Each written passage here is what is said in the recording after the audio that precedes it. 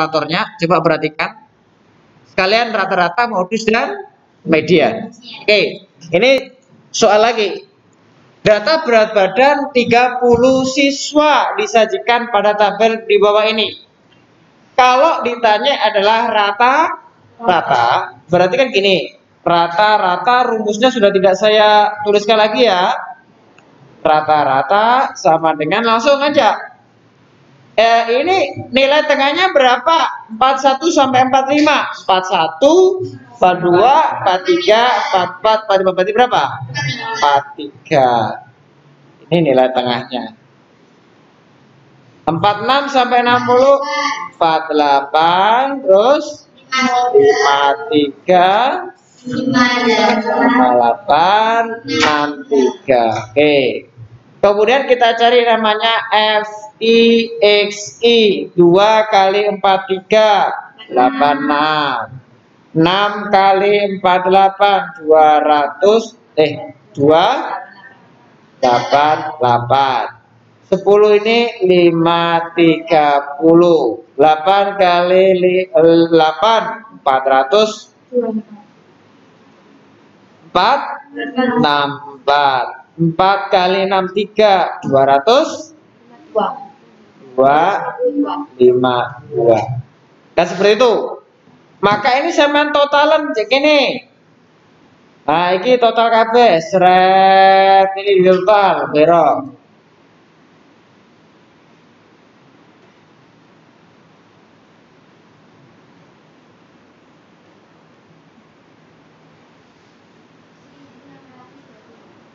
1620. Nah, ini tadi frekuensi totalnya berapa? 30. Maka rata-ratanya sama aja dengan 1620 dibagi 30. 50. Rata-rata. Mudah enggak? Mudah ya? Mudah enggak? Saya yakin ini mudah kok. Ya. Lanjut. Sekarang kita cari modus. Oke. Modus. Coba perhatikan. Modus itu tadi apa? Tapi bawah kelas modus ditambah panjang kelas dikalikan dengan apa? D1 per D1 plus D2. Apa lebih mudah ya? Sekarang kelas modusnya tentukan di mana? Oke, ini adalah kelas modus. Berarti tepi bawahnya berapa? 50,5. Dari mana 50,5? Oke, paham ya? Lah kok enteng sekali. Panjang kelasnya 5.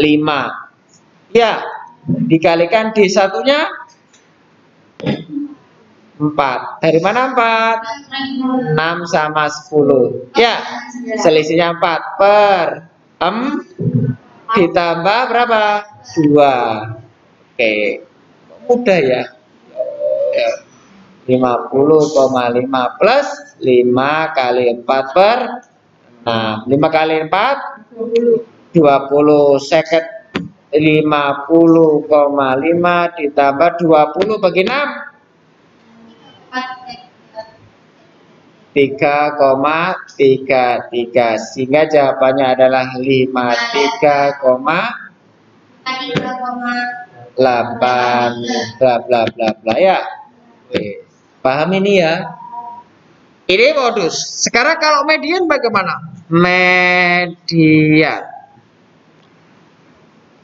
Kalau median Berarti kan tepi bawah kelas median ditambah dengan panjang kelas dikalikan dengan setengah N dikurangi frekuensi kumulatif sebelum kelas median dibagi dengan F kecil atau frekuensi kelas median. Saya ingin ini datanya itu ono piro 30 setengah 30 15 atas 15 bawah. Berarti tengah-tengah kan datang ke 15,5. 15,5 enggak 2 tambah loro 6 piro? 8. 8 tambah 10. Berarti kan di sini ya maka inilah yang namanya kelas median.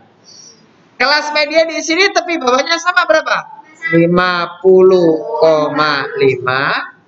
plus 5 setengah dari frekuensi totalnya 30 dikurangi frekuensi kumulatif. Frekuensi kumulatif sebelum kelas median. Kelas mediannya frekuensinya berapa? 3 10 ya. Maka ini berapa? 8. Paham ya? Per frekuensi di sini berapa? 10. Sehingga jawabannya apa? 50,5 plus 5 setengah ping telung pulau. Kurangi wolu 7 per 10. Berarti jawabannya 50,5 plus 5 ping itu berarti 3,5. Ya, jawabannya berapa? 54. Coba perhatikan. Di sini makna dari ukuran pemusatan kemarin saya jelaskan. Ukuran pemusatan itu metodenya macam-macam, bisa modus, median, dan rata.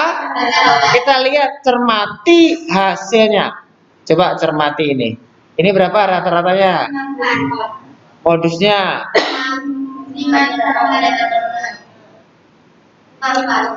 Berarti kan nilai ini melumpuk Data itu berarti menumpuk di 54. Itulah yang namanya ukuran pemusatan. Berarti data itu pusatnya di mana?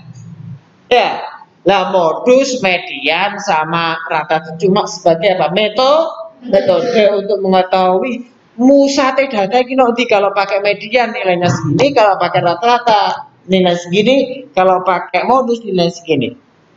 Lah ini rata apakah baik mana antara rata-rata modus median ya tergantung. Ya kan? Lah logika berpikir kita kalau nanti ada sebuah data data itu nilainya satu dua satu dua ada, ada satu yang nilai satu juta. Kalau kamu mau melihat mau pakai rata-rata apa modus? Kalau pakai rata-rata tinggi nggak? Representatif apa enggak dengan data? Tidak tidak mewakili oh apa ini ini si ciloro si ciloro terus toel melejit gitu ya. Kan tidak representatif tergantung nanti datanya. Makanya untuk melihat sebuah data itu kan butuh yang namanya varian simpangan baku untuk pengambilan keputusan suatu penelitian. Bisa dipahami ya? Uh, meni belajar tentang kuliah. Ayo. Apa mana nek non negeri lanjutkan negeri nek kayak lebih fajar apa promosi ya